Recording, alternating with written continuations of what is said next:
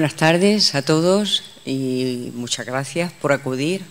Eh, vamos a intentar, aunque después del entusiasmo de Carmen María me resulta difícil contagiaros, eh, también eh, ilusión por entender un poco la importancia de la intervención psicológica en estos programas de rehabilitación. Bueno, no sé, yo soy Carmen Oñate, soy psicóloga del Hospital Reina Sofía, pertenezco a distintas unidades, entre ellas eh, esta unidad de rehabilitación cardíaca. Y voy a, mm, no he preparado así nada especial, solamente voy a decir pues, lo que hacemos en, el programa de dos meses eh, en cuanto a lo que se refiere a la intervención psicológica. Eh, algunas cosas, bueno, pues las vamos a repetir. Esto ya sabemos que la Organización Mundial de la Salud eh, nos dice que la salud es un estado de bienestar físico, pero también psíquico y social, no solamente en la ausencia de enfermedad. Teniendo en cuenta esto, tradicionalmente la medicina ha considerado a la psicología como una disciplina complementaria que si bien podía hacer bien al paciente, podía beneficiarlo, jamás se podía parangonar a los efectos de la farmacología o de la cirugía. Es decir, era algo positivo, pero prescindible. Esto hoy día es impensable porque con los resultados que tenemos de la psiconeuroinmunología, eh, sabemos perfectamente la importancia que tiene todo el tema de las emociones en la inmunocompetencia del paciente y la influencia tremendamente negativa del estrés en la salud, tanto física como psíquica. Por lo tanto, si tenemos en cuenta que la enfermedad o una situación de enfermedad. Tiene esos tres componentes, el biológico o médico, el psicológico y el social, si nosotros ignoramos todos los aspectos emocionales del enfermar y fundamentalmente de enfermedades como esta, como la enfermedad coronaria aguda o el cáncer o, otro tipo de enfermedades eh, degenerativas y demás, si nosotros olvidamos esos aspectos emocionales del enfermar, estamos ignorando una parte muy importante de la salud del paciente y eh, de la evolución de esa enfermedad. Por eso la tendencia ahora mismo y desde hace años es a trabajar en equipos multidisciplinares eh, para procurar una atención, como me hubiera dicho Carmen, integral al paciente. Es decir, no vamos a coger la vertiente solamente y pensar que si la enfermedad solamente es de tipo biológico, una vez descubierto el síntoma, eh, se puede poner el tratamiento y curar al paciente. Pero vemos por qué algunos pacientes evolucionan con el mismo tratamiento de una forma diferente a otros, porque hemos ignorado todos los aspectos emocionales del enfermar. Entonces tenemos que tener en cuenta bueno, que hay que trabajar, eh, esto todavía es una antigua de las primeras fotografías eh, que yo hice un poco de cada unidad en la que yo colaboro del hospital para otro tipo de intervención, pero eh, en la que ya mm, vemos cómo trabajamos desde el hospital en estas unidades eh, formadas por eh, multitud de profesionales, no los que estamos aquí, cardiólogos, enfermeros y psicólogos, rehabilitadores, profesionales expertos en temas que tienen que ver con la salud y con la rehabilitación, asesores laborales, eh, expertos en deshabituación tabáquica, en nutrición, en sexualidad, es decir, para atender de esa manera integral al paciente y fundamentalmente para atender sus necesidades, como he dicho antes, emocionales. Esto también lo ha comentado ya Carmen, sabemos lo que es la rehabilitación cardíaca, que el objetivo de un programa de este tipo, que yo siempre al empezar, el primer día le digo a los pacientes que mm, en absoluto por la parte que a mí me toca o por lo que yo pueda aportar, sino por el conjunto eh, de actividades que tiene un programa de rehabilitación cardíaca, es un lujo que la sanidad hoy día nos ofrece, nos quejamos muchas veces de la lista de espera, de todo esto, y nos damos cuenta de lo que supone, aparte del proceso de hospitalización, de los estén. Yo también siempre cuento la anécdota con el primer grupo que yo hice, me dijo un paciente, es que usted no sabe todo lo que vale un muelle, que era el estén. Y yo digo, bueno, el costo de todo un programa no solamente el estén, sino todo eh, el engranaje que hace y devuelve a un paciente después de un evento coronario agudo a, una vida completamente normal a nivel físico, psíquico y también en su integración laboral. Estudios mm, recientes demuestran que personas que han hecho el programa de rehabilitación cardíaca eh, tienen un, casi un 50% menos de probabilidad de recaída en los primeros años que los pacientes que no han llevado a cabo ese programa. Por tanto, esto nos anima tremendamente a tener esta ilusión por continuar y cada vez eh, implicarnos más en estos programas de rehabilitación. En lo que la parte de la intervención psicológica se refiere, que es lo que yo quiero explicar un poquito, eh, tenemos dos objetivos fundamentales. El primer objetivo es reducir el impacto, tremendo impacto emocional que tiene eh, un evento coronario en un, en un paciente y ver cómo eh, eso ha influido en su vida, en su vida a, todos los niveles.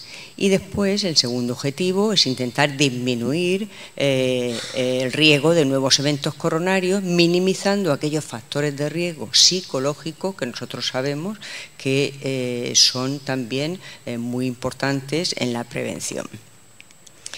¿Qué hacemos eh, cuando un paciente, a mí me dicen eh, las enfermeras, los cardiólogos, bueno, ya tenemos un grupo eh, de 12 pacientes generalmente para un programa, para empezar un programa de dos meses, pues vamos citando individualmente a cada paciente para hacer una evaluación psicológica de cada uno mm, y ver pues mm, todo eh, el funcionamiento psicológico de ese paciente después de ese evento coronario. Valoramos todo, eh, su nivel de estrés, de ansiedad, su estado emocional, anímico, su capacidad de afrontamiento de las situaciones difíciles, el conocimiento estilo de vida cardíaco un montón eh, de cosas y una vez que hemos hecho esa evaluación psicológica elaboramos un informe de cada uno de esos pacientes y eh, empezamos con las sesiones, las sesiones grupales, una sesión semanal eh, en la que trabajamos cada día pues uno de estos puntos o factores de riesgo que nosotros creemos eh, que, los pacientes saben, han oído hablar de que el estrés es muy malo, de que la ansiedad, de que determinados tipos de personalidad, pero no tienen un conocimiento profundo de hasta qué punto estos factores pues, pueden ser cruciales en el desarrollo de la enfermedad. Y cuando termina el programa de los dos meses, eh, el programa de rehabilitación, hay algunos pacientes que todavía tienen algún tipo de necesidad eh, de apoyo psicológico y los podemos seguir en consulta externa y podemos ir haciendo un poquito de apoyo psicológico individual. ¿Qué trabajamos en cada una de esas sesiones grupales a lo largo de los dos meses? Pues en primer lugar, esas variables psicológicas que son factores de riesgo coronario todos sabemos que el estrés es el enemigo número uno de la salud, ¿eh? llamamos la enfermedad del siglo XXI. Eh, luego trabajamos factores emocionales como la ansiedad y la depresión, bien previa o bien posterior al evento coronario.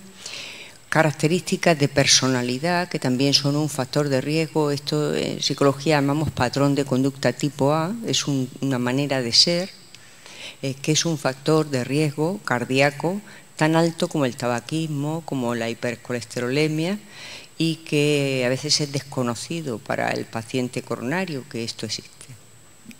Y luego también trabajamos la necesidad del apoyo social en cualquier tipo de enfermedad, pero como decía Carmen, en estas enfermedades que afectan al corazón, al cerebro, también, eh, por ejemplo, yo estoy en la unidad de, tumores y en la unidad de mama, es decir, en, en psico-oncología, es fundamental también eh, trabajar el apoyo social en el proceso de enfermar del paciente, es fundamental.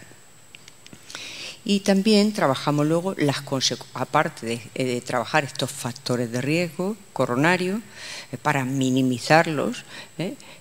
ver también las consecuencias psicológicas que se producen en el paciente después de haber tenido un evento coronario, como son también trastornos emocionales, problemas de incorporación laboral, porque hay gente que se quiere incorporar muy pronto, gente que tiene miedo a incorporarse, ¿eh? Porque no sabe si va a poder rendir, si va a poder hacer el trabajo que hacía. Todos estos expertos en este tema también trabajan con los pacientes en todas estas cuestiones, cambios en la actividad sexual, cambios en actividades sociales y de ocio y también síntomas somáticos, porque los pacientes una vez que han tenido eh, un infarto, por ejemplo, ya cualquier tipo de malestar eh, creen que es que les va a volver a repetir. Esto nos pasa a todos. Yo les pongo siempre el ejemplo, es decir, ¿verdad que todos, todos los días, al pasar por un sitio nos damos un golpe en una pierna y, y decimos, ay, pero no nos damos cuenta?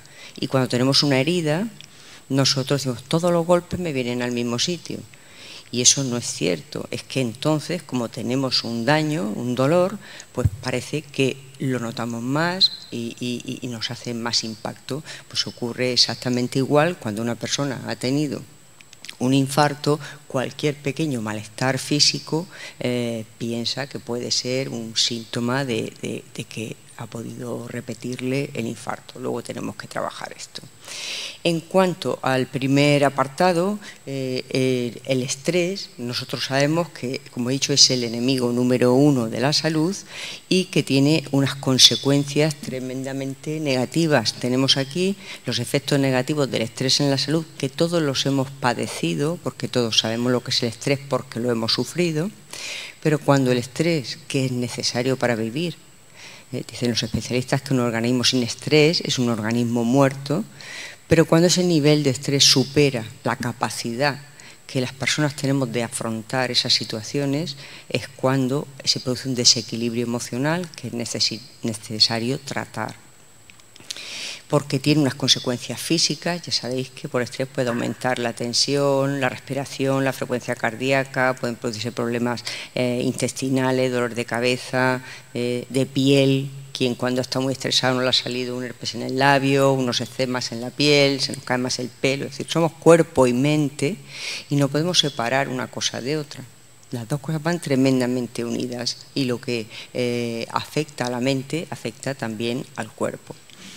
También el estrés tiene efectos en la mente, incapacidad para memorizar, para concentrarse, para terminar tareas, ¿eh? siempre decimos lo mismo. ¿Qué pasa cuando una persona, nosotros, todo nos ocurre, vamos a ir de una habitación a otra y cuando llegamos nos acordamos de a qué íbamos?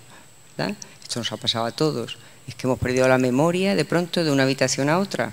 Es que nuestro cerebro está estresado y, nuestra atención dispersa y tenemos que pararnos a pensar y centrarnos. ¿A qué venía yo? Ah, ya me acuerdo. Eso es el estrés. Eh, tenemos, hemos dicho, trastornos emocionales como la ansiedad y la depresión. También yo creo que la ansiedad es un término bastante conocido hoy día, aunque el nombre es relativamente moderno. Antes, a mí me gusta más porque define más lo que se llamaba trastorno por angustia. Es el agobio frente a una situación que nosotros no podemos resolver.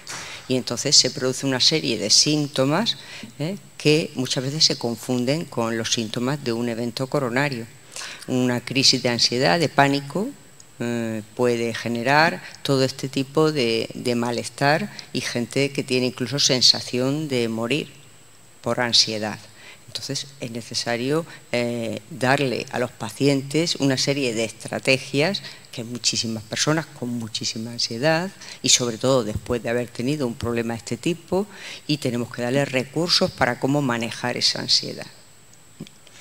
Eh, en cuanto a la depresión, pues también eh, el ánimo no es una depresión como tal, pero la mayoría de los pacientes se vienen abajo, tienen eh, estados emocionales muy bajos después de un episodio de este tipo, piensan que han perdido el interés por algunas cosas, que no van a ser capaces de rendir como antes, a veces pierden el apetito, se les altera el sueño, han perdido la ilusión, la autoestima, todo eso también es muy importante y en cada sesión, nosotros por ejemplo una sesión trabajamos el estrés y damos estrategias de cómo minimizar los efectos negativos del estrés. Estrategias que, como Carmen decía, tenemos todo tipo de pacientes con niveles culturales muy diferentes, tenemos que trabajar a niveles muy básicos. No podemos utilizar estrategias psicológicas complejas. Tenemos que darle herramientas que ellos desde en su día a día puedan manejar y que puedan minimizar los efectos de estos factores.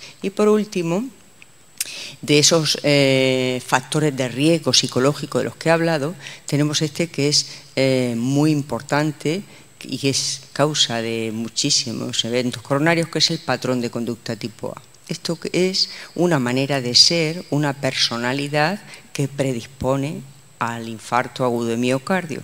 Y son personas, cuando el día, la sesión en la que yo hablo del patrón tipo A, cuando he explicado eh, qué es y qué características tiene, la mayoría de los pacientes dicen, lo cumplo todo. Eh, se identifican totalmente con, este, con esta manera de ser. Son personas muy competitivas, que para ellos todo es un reto en la vida, personas que siempre tienen prisa, que van rápidos a todas partes, comen deprisa, hablan deprisa, interrumpen a la persona con la que están hablando porque quieren que termine eh, pronto, no soportan esperar, no soportan una cola. Son personas muy impacientes. Luego también tienen una sobrecarga laboral importantísima. Son personas que piensan que han venido al mundo a trabajar y que para ellos el trabajo es el centro de su vida tienen más trabajo que nadie, tienen horarios de trabajo eh, larguísimos, muchas veces desatienden aspectos familiares, pierden cosas del cuidado de los hijos, no pueden ir a, los, a las tutorías de los colegios, a las funciones de fin de curso porque tienen mucho trabajo, se llevan a casa trabajo, trabajan los fines de semana, interrumpen las vacaciones porque tienen que trabajar. Y eh, el, tercer, el último punto característico del patrón tipo A es la hostilidad. Es decir, son personas con un, lo que llamamos en psicología, humor negativo. Tienden a fijarse mucho más en lo negativo que en lo positivo, a pensar que todo el mundo eh, va a aprovecharse, que no hay nadie bueno, que todo el mundo es muy interesado, que la gente no hace las cosas porque sí, en fin, todo este tipo de cosas que llamamos hostilidad. Todo ese conjunto de factores es lo que llamamos patrón de conducta tipo A y que tenemos que trabajar muchísimo con los pacientes cardiológicos porque eh, la mayoría, si no todos, tienen alguno de estos componentes entre sus características de personalidad, más los varones que las, que las mujeres. Bien. que le estoy dando al revés, perdonad. Bien, y luego un poquito la guinda de nuestro programa es esta, es el enseñar a los pacientes a practicar mindfulness. Al principio, cuando yo me incorporé al programa, que ya estaba funcionando tiempo, eh, creo, por las búsquedas que yo hice, que solamente otra unidad de rehabilitación cardíaca en España eh, trabajaba ya con esta técnica con los pacientes coronarios. Eh, es una técnica fundamentalmente de reducción de estrés, pero que aparte de eso eh, tiene una, serie de beneficios para la salud física y psíquica tremenda. Y nosotros lo que hacemos es explicar a los pacientes qué es esto tan raro, esta palabreja tan rara de mindfulness, y sobre todo enseñarlos a practicarlo para que luego ellos, una vez que termine el programa, puedan eh, en casa dos, tres veces a la semana, igual que aprenden a hacer relajación, igual que aprenden otro tipo de técnicas, también puedan practicarlo y voy a decir un poquito en qué consiste esto. Es una palabra que no tiene traducción literal al castellano, es una palabra inglesa, pero que más o menos significa atención plena o conciencia plena. Y está muy de moda en el mundo occidental, se utiliza en todas las disciplinas, en el deporte, en la empresa, eh, en la educación, nosotros la utilizamos mucho en terapia, pero es una técnica milenaria, tiene más de 2.500 años de antigüedad y procede de la filosofía oriental pero nosotros solamente no nos quedamos con ningún tipo de connotación filosófica ni religiosa, solamente nos quedamos con la práctica de mindfulness, que es lo que enseñamos a los pacientes y que mm, normalmente le vamos a llamar meditación. Luego lo que nosotros enseñamos a los pacientes es a meditar con el fin de que puedan conseguir un equilibrio ¿eh? en lo que eh, hemos puesto en esta diapositiva, entre la razón y la emoción. Cuando están en consonancia nuestro cerebro con nuestro corazón es cuando realmente nosotros nos sentimos bien emocionalmente. Cuando hay un desequilibrio entre eso nos sentimos mal, no tenemos paz eh, interior y nuestra mente eh, eh, está completamente llena de contenido, no la podemos calmar. Esto es lo que hacemos, intentar encontrar un equilibrio entre nuestras emociones y nuestra razón con la práctica de mindfulness. Y entonces, para empezar, siempre pongo esta viñeta ¿eh? para entender un poco en qué consiste.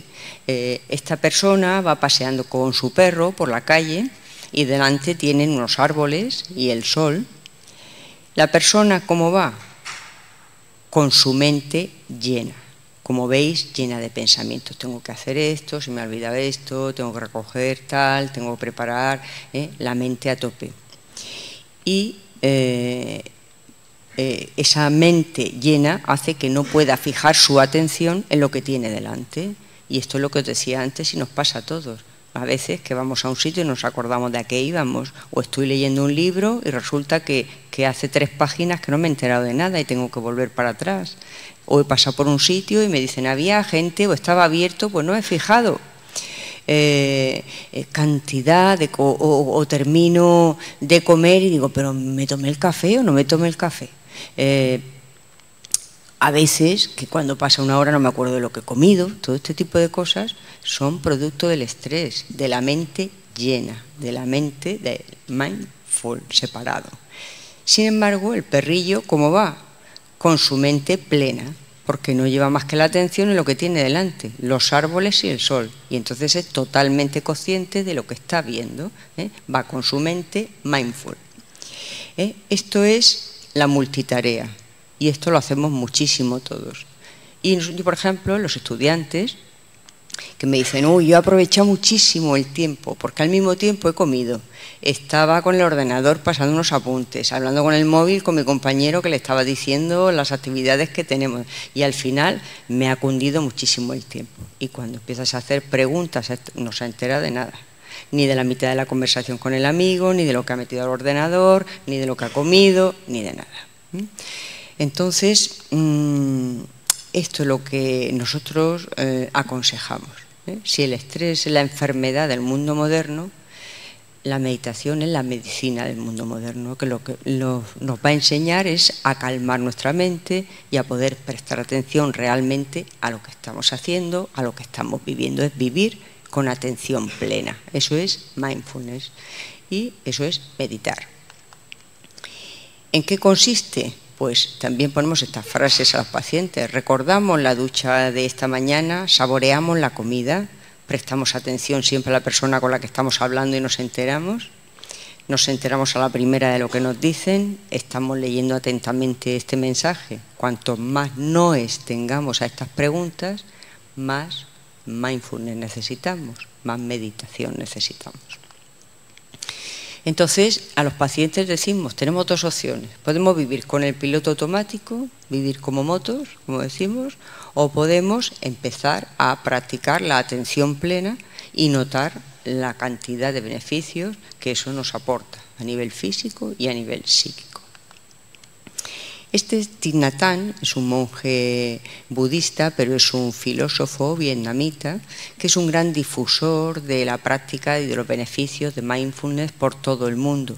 Hace poco vino a Barcelona y bueno, fue gente de toda España a escucharlo. Y para que nosotros entendamos qué es esto de la atención plena, él nos pone el ejemplo de la taza de té. Podemos tomarnos una taza de té con el piloto automático como hemos dicho antes, con la mente llena o podemos tomarla con atención plena. Y yo más que la taza de té a los pacientes les pongo el ejemplo de la copa de vino. Y siempre digo, ¿qué hace un catador cuando va a catar un vino? Un catador profesional. El catador todos sabemos que solamente se moja los labios con el vino, ¿eh? porque si va a catar 20 vinos y se bebiera 20 copas, habría que ver cómo estaba luego el catador al final de la tarde. Entonces, ellos, ¿qué hacen? Cogen la copa, la miran, la airean, meten la nariz, huelen. ¿eh? Y ya, por fin, cuando han utilizado sus cinco sentidos y toda su atención, para, simplemente se mojan los labios con el vino. Y con ese acto, que eso es mindfulness, eso es meditar, eh, saben sacarle a un vino 40, 30, 40 matices. Los años que lleva en barrica, de los taninos, bueno, una cosa impresionante. ¿eh? Si hubieran estado charlando con otra persona y hubieran dado un trago al vino, probablemente no sabrían ni qué vino se han bebido. Entonces, un poquito la idea que yo les quiero transmitir a los pacientes de cuál es eh, eh, el efecto de practicar meditación, que es prestar atención con nuestros cinco sentidos a lo que estamos haciendo para ser conscientes de, lo que está pasando, de esa realidad. Decía John Lennon, la vida es eso que sucede cuando nosotros nos ocupamos de otra cosa. ¿verdad? Que muchas veces decimos, madre mía, ha pasado el verano y no me, da, no me he enterado. He terminado las vacaciones y no he sido consciente de verdad ¿eh? de si he descansado o no he descansado. Pues eso, ¿eh? trabajando en la meditación, nosotros somos plenamente conscientes de lo que ocurre en nuestra vida momento a momento. Y así calmamos nuestra mente, reducimos el estrés. Y por último, voy a explicar las dos formas que hay de practicar mindfulness. Una es la meditación informal, que es la que podemos hacer, como os he dicho, al tomar un café, eh, cuando nos estamos duchando, decir voy a notar cómo me mojo, cómo huele el gel, cómo me enjabono, cómo me quedo fresco, o puedo hacerlo con el piloto automático, con lo cual al final tampoco he disfrutado ni me he enterado de esos tres, cuatro minutos de ese pequeño momento. Esa meditación informal la podemos hacer en cualquier momento del día, un paseo, un postre, eh, lavarnos los dientes, el ducharnos, intentar no tener la mente en 30 cosas a la vez, sino centrar la atención. Esto es una práctica, igual que el ejercicio que hacen los pacientes en la bicicleta, hay que practicar. Si nosotros vamos al gimnasio una semana y nos damos una paliza tremenda, pero no volvemos a ir, no tendremos forma física, solamente agujetas. La meditación es igual, es una técnica, pero requiere disciplina y práctica para notar los beneficios, aunque se notan, como también decía Carmen, con el ejercicio, con, dos meses ¿eh? de práctica ya notamos un montón de beneficios de practicar. ¿eh? Solamente tenemos para hacer la meditación formal, es decir, cuando nosotros decimos a los pacientes vamos a hacer una meditación, tener una postura que es esta en una silla, sentados. ¿eh? También se puede hacer con el banco ese que tenéis ahí abajo o, en posición de loto, pero nosotros con los pacientes, por las condiciones de la sala, lo hacemos en una silla. El segundo elemento que es fundamental y que ellos ya lo han aprendido antes es hacer la respiración abdominal. La respiración conecta, es, eh, lo que nos permite empezar el ejercicio. Empezamos siempre con el repaso, el escaneo corporal y la respiración. La respiración nos va permitiendo calmar nuestra mente y concentrarnos en lo que vamos a ir haciendo a lo largo de la meditación. Intercambiamos en el exterior con el interior. ¿eh? Fijaros cómo eh, la respiración es lo que decíamos en la pista de despegue para empezar la meditación y por último calmar la mente. Es el tercer elemento de la meditación, es el más complicado, pero ese ya lo vamos dirigiendo nosotros, ¿eh? intentando que el paciente ponga su atención en algo que nosotros vamos diciendo, en una situación, creamos una situación y el paciente tiene que visualizar, mentalizar que está en esa situación para no pensar nada más que en eso y seguir lo que nosotros vamos diciendo a lo largo de un tiempo. Cuando terminamos 10 minutos, eh, un cuarto de hora como mucho de cada sesión de meditación que hacemos cada, cada día de esas eh, ocho semanas que hacemos, ¿eh?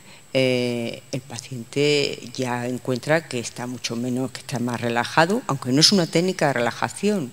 Mindfulness es una técnica de atención la relajación es otra cosa, pero sí que el paciente se nota que no está estresado, que está en paz, que está en calma, y eso es lo que nosotros pretendemos, conseguir que ellos aprendan a encontrar paz interior, a calmar su mente. Esto que, ponemos aquí, en vez de la mente constantemente oh, ¿eh? invadiéndonos de pensamientos, eh, intentar tener la mente no en blanco, sino en calma. Y fijaros, todos estos son los beneficios de practicar mindfulness. Qué barbaridad, todo eso está comprobado científicamente. ¿eh? No tenemos tiempo para explicar cuáles son los mecanismos cerebrales que se producen cada vez que meditamos, pero hay una serie de cambios en la actividad cerebral que generan todos estos beneficios físicos y psíquicos. Por lo tanto, en esas ocho sesiones que hacemos con los pacientes, una a la semana, durante una hora y media, trabajamos cada día un tema estrés, ansiedad, depresión, patrón tipo A y hacemos meditación. Para que al cabo de las ocho semanas aquel paciente que considera que, es beneficioso pueda continuar luego haciéndolo en casa e incorporándolo a un estilo de vida saludable que aparte del ejercicio, la dieta eh, y toda una serie de, cosas que ellos aprenden de ese estilo de vida, también es muy importante cuidar también todo lo que es los aspectos emocionales de la enfermedad. Y con eso, con esta frase de John Kabat-Zinn, que es un, representante de mindfulness, eh, y fue la primera persona que creó en Estados Unidos una clínica de reducción de estrés. La gente solamente se ingresaba para tratarse el estrés con la práctica de mindfulness. Pues nos dice John Kabat-Zinn, no podemos detener a las olas, es decir, la enfermedad está ahí y nosotros mm, una vez que ha ocurrido, sí podemos prevenir algunas veces, pero una vez que ha ocurrido no podemos evitarlo y vamos a tener contrariedades, problemas, ¿eh? enfermedades, pérdidas, pero podemos aprender a surfear esa realidad con esas estrategias que nosotros facilitamos a los pacientes desde este programa de rehabilitación cardíaca en el que ponemos todo nuestro interés y toda nuestra ilusión porque vemos que, es muy, muy beneficioso para los pacientes. Y bueno, es importante eh, también, como antes nos ha dicho Carmen, motivar a los pacientes a que ellos tienen una gran responsabilidad en su salud. ¿eh? lo que nosotros llamamos locus de control. Hay pacientes que piensan que su salud depende de los médicos, de, los medicamentos que le manden después de un infarto, pues yo ya no puedo hacer más que lo que me diga el médico, ejercicio, no, depende mucho también de la implicación que cada uno considera que tiene en su estado de salud física y psíquica. Y con esto doy las gracias por vuestra atención y ahora si queréis alguna pregunta, lo la respondemos. Gracias.